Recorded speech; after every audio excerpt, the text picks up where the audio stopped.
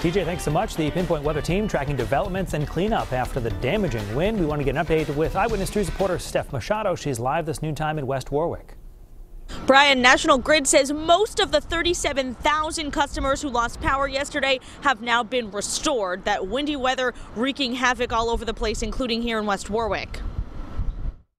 National Grid continuing to restore power Tuesday after high winds knocked down trees and power lines, even boats on Monday.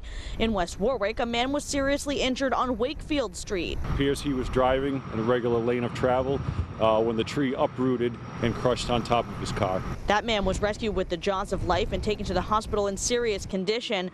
In Coventry, firefighters say the power outages caused a homeowner to use a portable generator for power, which caught fire, spreading to the house and engulfing it in flames. The fire department says everyone evacuated safely and no one was hurt. And National Grid says their workers weren't able to go up in those bucket trucks right away yesterday because of the high winds, but they were able to do work from the ground, cleaning up power lines and down trees until the winds died down enough for them to go up and do line work. Now, as of 10 a.m., National Grid tells me about 1,400 customers remain without power. Live in West Warwick, I'm Steph Machado, Eyewitness News.